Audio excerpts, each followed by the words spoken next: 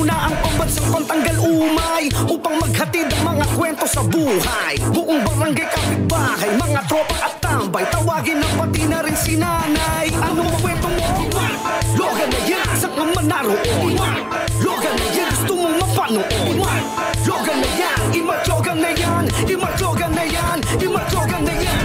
Ay, may chika. Atin-atin lang ha. Itong top 5 mga kwentong Mark Logan ay pilit nang ginagaya. Pilit pang kinokopya. Pero mukhang hindi kinakaya. Ah, basta, mula sa amin, patuloy pa rin namin kayong bibigyan ng mga kwentong nakakatuwa, nakakaaliw at tatagos sa inyong mga puso. Ako po ang inyong pambansang pantanggal umay, kaka Mark Logan. At ito, ang top 5 mga kwentong Mark Logan. Logalogs, nakagala ka na ba? Abay kung hindi pa, sign mo na to para mag-schedule na. Bago pa man tayo tuluyang sa lubungin ng bagyo, tara na sa Bagyo!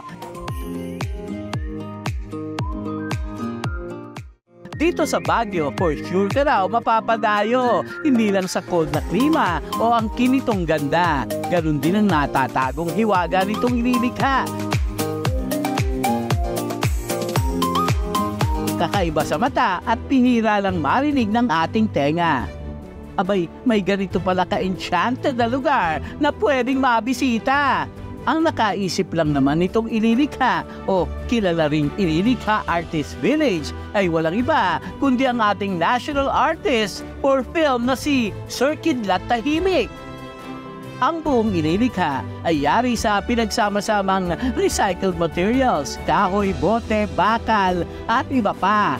Matatanaw sa buong space ang hangarin nitong maipagmalaki ang mayamang kultura ng mga tao sa Cordillera. Ang ililikha ay galing sa Ilocano word na ili, meaning parang town or village. Tapos likha galing sa Tagalog word na paggawa. So parang pag kinombine mo sila, um, yung mga artist mismo yung lilikha ng ili ng town or ng village. Kaya ililikha yung pangalan niya. Ganito ang tema ng ililikha kasi yun yung vision ni Tatay Kidlat, tahimik. Ayaw niya ng typical na architecture, yung straight lines. Gusto niya yung may curve, yung may art. And unti-unti siyang tinayo. Parang pa isa-isa. Actually, may architect din yung ililikha si Sir Randy Gawin. Siya yung naging architect nito. And siya yung gumawa ng blueprint ng ililikha. Kaya ganito yung itsura niya ngayon. Hindi lang mabubusog ang inyong mga mata.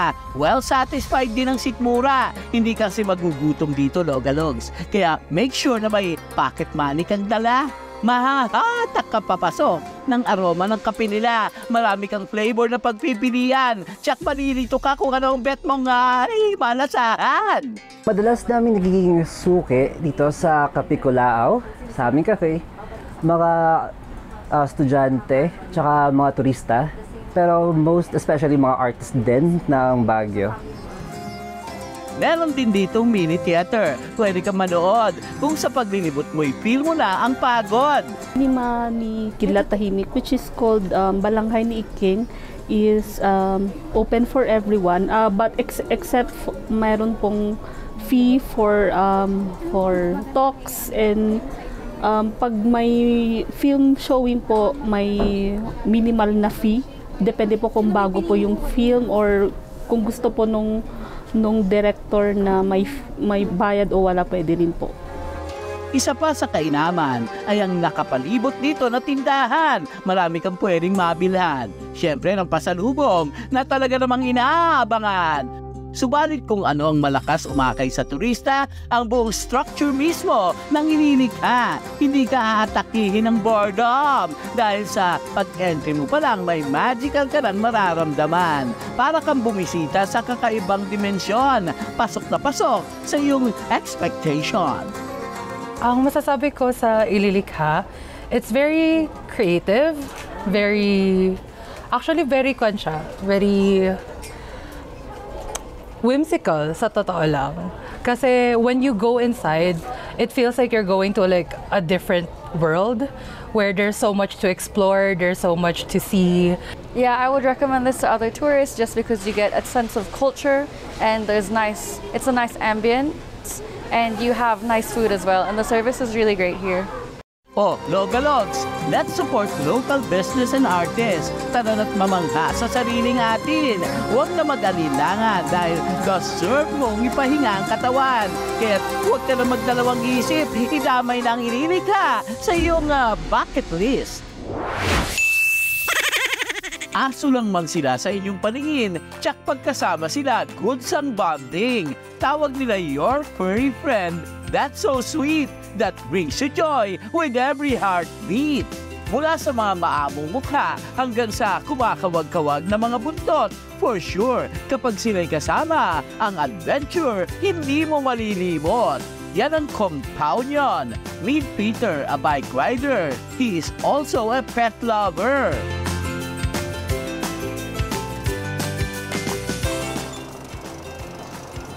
Hello Galogs! Ako si Peter at ito ang aking travel companion na si Murphy at si Jordy. Sa tuwing nagbabike raw si Peter, hindi siya naiinip dahil bukod sa magagandang tanawin, mayroon din siyang kasama sa bawat landas na tatahakin. Meet Murphy ang kasama ni Peter sa kahit anumang trip.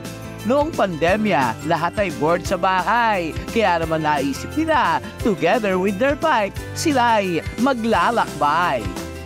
Kasakasama na niya si Murphy sa kahit anumang rides. Kaya naman pag may nakakakita sa kanila, lahat ay amazed inside their villa.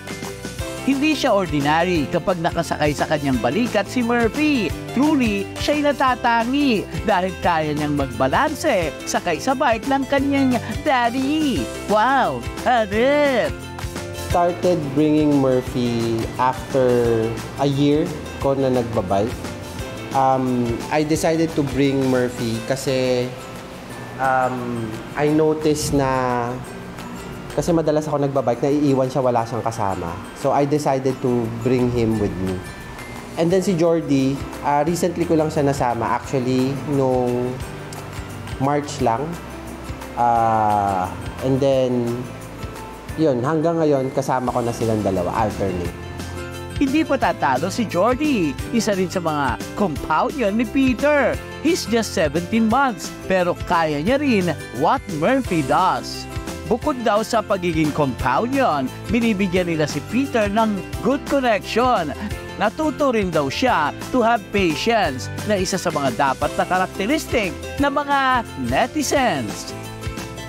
Kaya naman magmula noon hanggang ngayon kasama na raw niya sina Murphy at Jordy dahil para kay Peter, bawat moment nila is worthy. O ha? Bongga! most definitely talaga yung companionship and then yung siguro mas maging nagiging patient ako kasi um, as you know ma magulo sila ito lalo na to and then um, makalat so aside from them bringing me companionship I think it they help me become a better person as Para kay Peter, tiyaga at mahabang pasensya ang kailangan upang mga dogo tunay na maalagaan. Be a responsible citizen, ika nga, together with your dogs na makapagbibigay ng tuwa sa bawat isa. Ah, let's just make sure that we make ourselves accountable sa ginagawa natin and we follow the traffic rules strictly. So, I guess the problem here is really kapag may nakita kasi tayo na nag-overtake, lahat nag-overtake sumusunod na. So, I think that's one thing that we have to enforce din. Hindi man sila nagsasalita, tratuhin din natin sila na parang kapwa. Kasama mo sa tuwa at mga gala, mga dogo nating nagbibigay saya. Logan na yan, gusto mo mapanood Logan na yan, imadyogan na yan Imadyogan na yan, imadyogan na yan Logan na yan, gusto mo mapanood Logan na yan, imadyogan na yan Imadyogan na yan, imadyogan na yan Shifting to the next mode para sa mga kwentong inyong tututukan, gagawing laman ng inyong kwentuhan. Normal na sa mga utaw ang pagkakaroon ng problema. Kahit gaano ka pa kasiyahin sa life, walang katapusan ang aberya. May mga logalogs na kaibigan ng sandalan. Meron namang iba na pang-comfort ang inuman. Pampalimot naman ng others ang pag-iisa at mayroong kinakanta na lang ang samot-saring problema. Tuwanan mo ang iyong problema.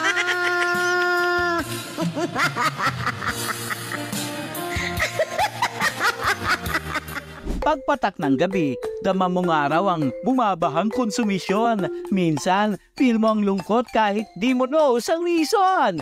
Kaya kung ang iba ang takbo eh, kumarte sa BGC o poblasyon, ibahin mo itong midnight tambayan, nakakaiba ang vision.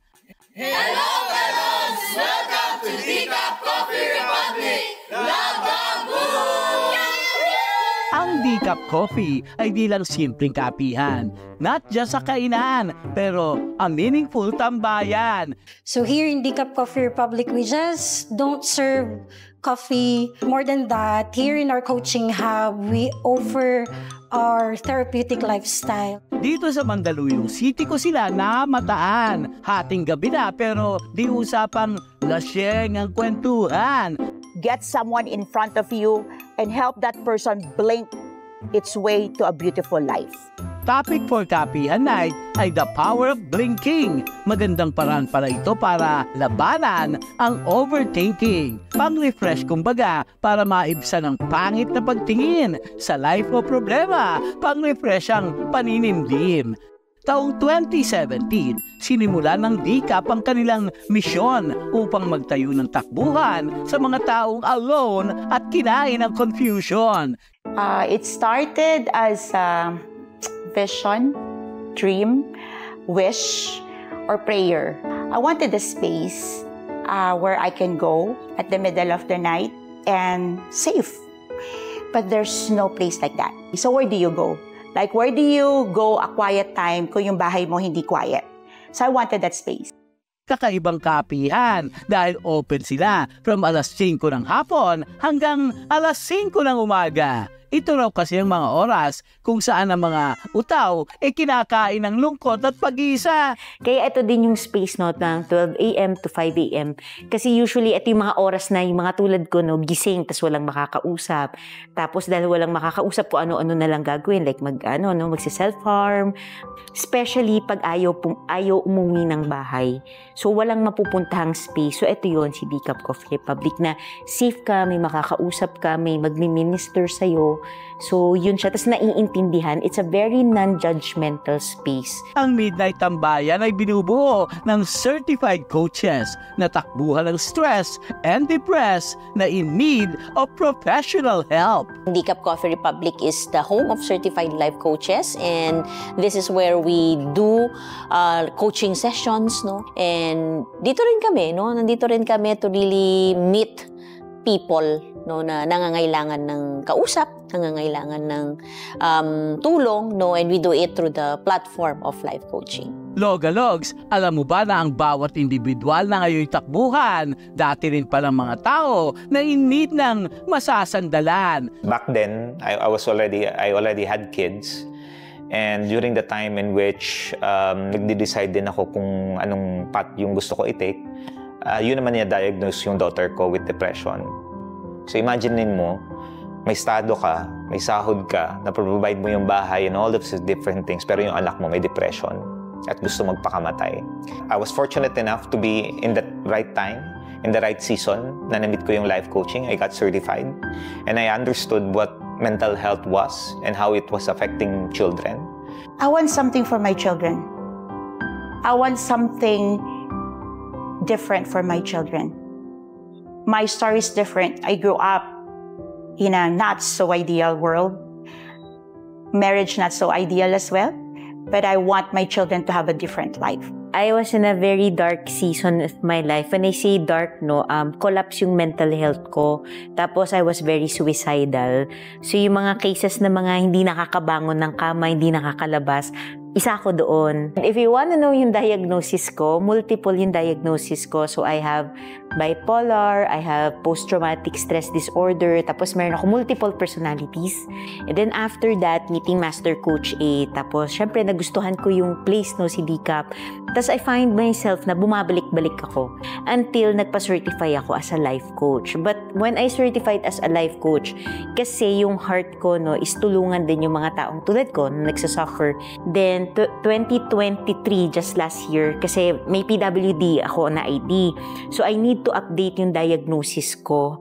So pag pa-update ng diagnosis ko, tinatakan siya ng ano ng psychiatrist na history.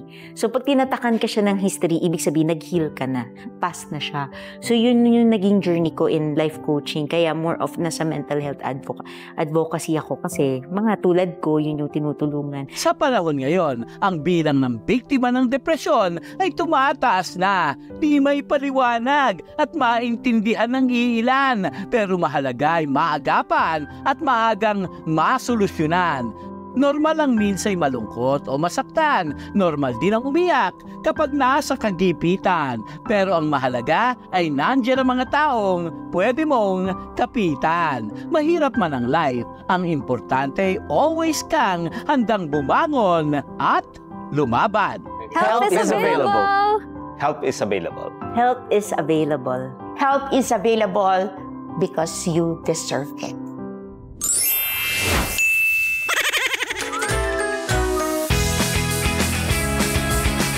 Sa pagsikat ng araw sa silangan, abala na ang lansangan. Mga tricycle at jeep nag-aagawan sa daan.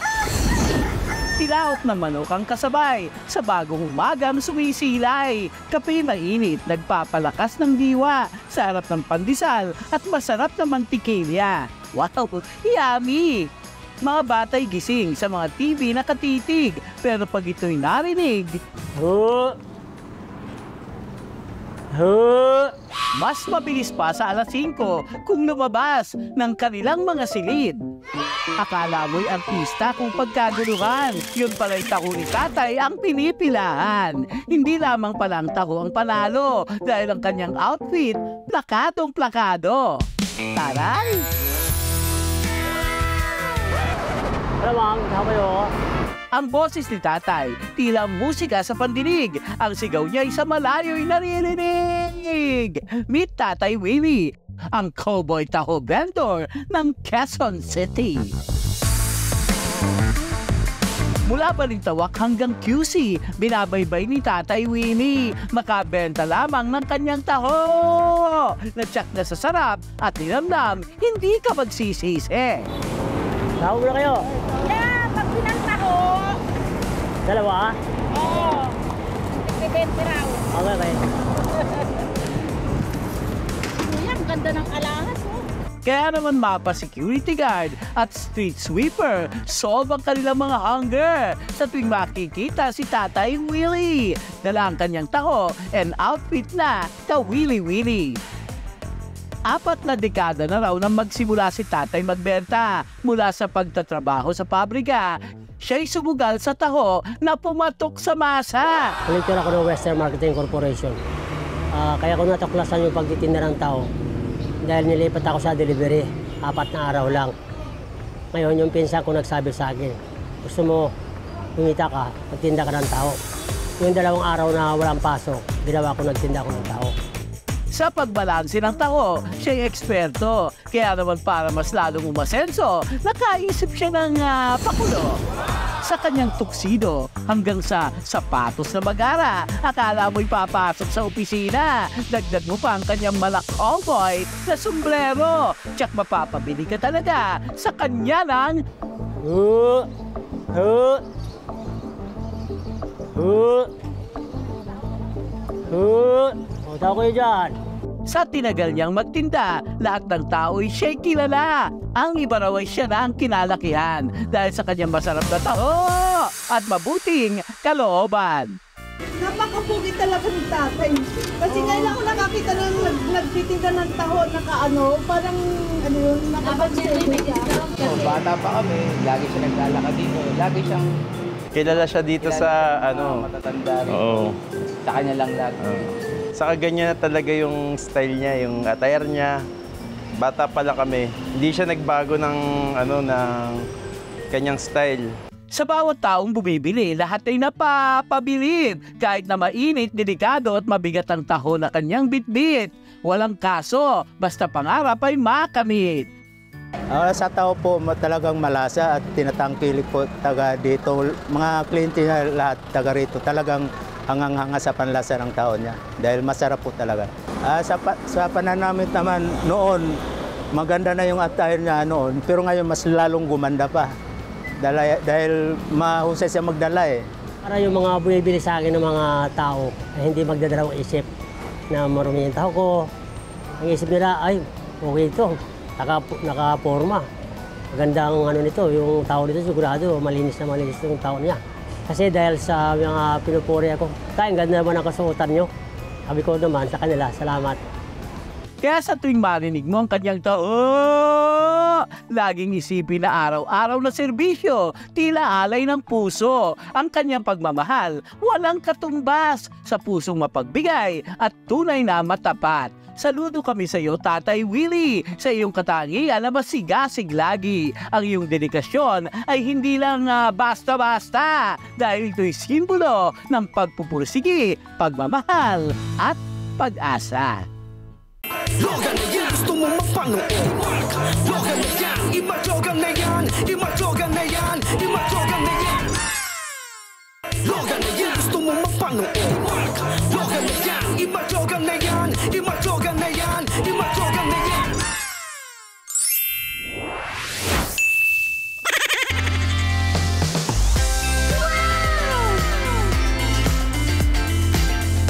best talaga ang Noy sa sining. Hindi ka mapapailing sa layo at lawak ng ating nararating. Gina G makipagsabayan kahit pa sa anong bayan. Basta sa usapang arts ang laban, abay sureness na hindi ka uurungan sa creativeness na larangan. Rembrandts, souvenir, memento, kontento na ako dito. Hindi hindi ko man nakuha yung puso mo, nakuha ko naman yung panghilod mo. Same thing lang din naman kasi parehas lang silang bato. Bumiyahe kami papuntang Caloocan. Dinayo namin ang isang young artist. Hindi ka raw dapat pumikit.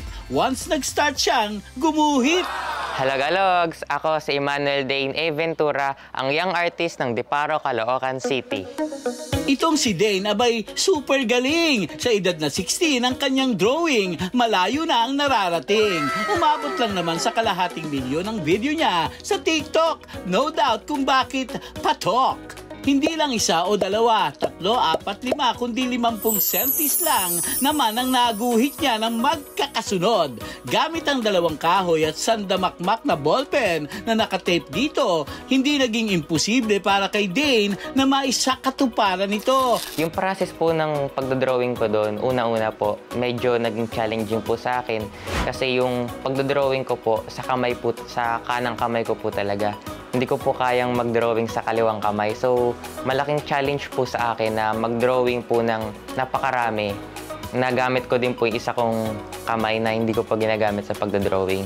Logalogs, sige nga, hulaan nyo kung ilang oras niya itong ginawa. Inabot po ako ng 14 hours po total sa pagdodrawing po ng scribble art ng 50 most influential scientists sa buong mundo po. Ginuhit niya lang naman ito ng labing apat na oras. Grabe na yun. At bukod doon, naging subject niya na rin ang labing pitong presidente ng Pilipinas. Look oh, ang angas! Yung una ko pong gawa ay yung 70 na presidents ng mga Pilipinas na ang sunod-sunod ko pong dirinawing gamit yung bamboo stick po. Bali, dirinawing ko po siya na meron pong 8 feet na bamboo stick, then nakahilera po yung mga drawing sa isang lamesa. So, ang nagiging flow po nun, bali, inuuna ko pong i-drawing yung nasa gitna, then parang sinasagwan ko po yung stick para umabot po yung ballpen sa dulo. So hindi po siya literal sabay-sabay but sunod-sunod ko po siyang dinadrawing. Ito pa lang si Dane noong apat na taon, unang na in love sa pagguhit. Akalain mo'y na-encourage siya dahil lang sa napanood na palabas sa telebisyon. Aba ngayon, open na siya for commission. Nakarating na nga ang kanyang drawing sa iba't ibang location. Marami na siyang naiguhit, sikat man o anything under the sun. Basta kanyang maisipan, go na yan! Hindi lang scribble ang kaya niyang gawin. Sa charcoal painting, siya'y, oh, papalag din. Pagdating naman sa paaralan, si Dane din ang panlaban. Marami na siyang nasalihan. Wala nang usapan basta siya na ang pambato sa ganitong larangan. Sa ACADS naman, never niya itong napabayaan. Kaya ang kanyang mommy, very proud at super happy. Sobrang na-amaze ako sa lahat ng mga achievements ng anak ko ngayon kasi at his age na 16, in, parang ano eh, nasa shock pa ako ganyan. Pangarap ko sa kanya na maabot niya lahat ng dreams niya. Una-una, makapag aral siya sa abroad and especially makarating siya doon sa Europe kung saan nandun talaga yung ano ng paintings. Sa murang edad, alam na ni Dane ang naging guhit ng kanilang palad kaya todo siya sa pagsusubikap upang matupad ang pangarap. Sa katunayan ng kanyang mami at panganay na kapatid, ang inspirasyon niyang walang patid. Mami ko po kasi ay single mom. So, bata pa lang po kami, nakita ko na po kung gaano kahirap and gaano karaming sakripisyo po yung ibinigay niya po para sa amin. And pangalawa naman po yung kuya ko. Yung kuya ko po kasi ay diagnosed po ng autism disorder. So even though siya po yung panganay and ako po yung bunso, medyo nagiging baligtad po. Ako po yung nagiging panganay kasi ako po yung pilit umiintindi at tumutulong po kay mami para sa kanya.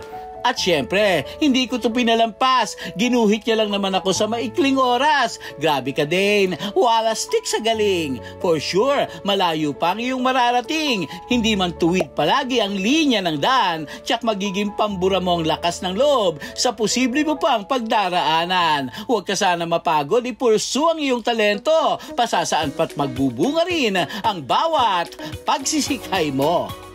Hi Logalogs! Tutok na kayo sa top 5 mga kwentong Mark Logan.